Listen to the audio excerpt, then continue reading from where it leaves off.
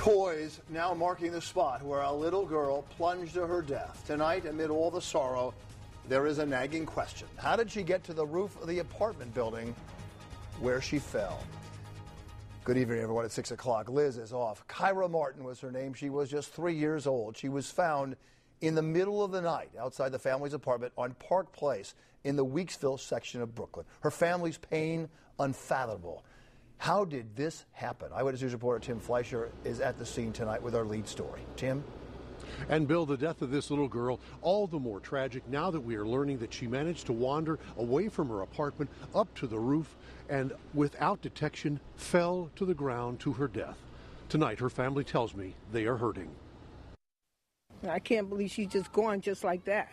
Nadine Martin painfully had to see for herself the place here outside her granddaughter's apartment building where little three year old Kyrah Martin was discovered face down in a snowbank, having fallen to her death. Well, she probably woke up and was in an unfamiliar surrounding. And I mean, three years old, she was she wandered around trying to find her location or something. Found in frigid overnight temperatures, the little girl falling to her death four floors from the roof. There's one set of footprints in the snow on the roof. The baby tragically uh, fell off the roof. It's 21 degrees.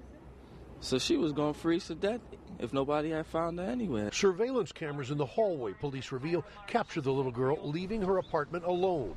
Another camera catches her climbing the stairs and going through the door to the roof. People apparently didn't didn't hear the alarm when the officers went to the roof, saw the baby's footprints towards the front for the edge of the building. As neighbors create a memorial from small toys and candles are lit in Kyrah's honor, her family has trouble understanding how this could have happened two days after they moved into the apartment. If you're being placed by the city, it looks like they would have some kind of security and, you know, better protection for the kids.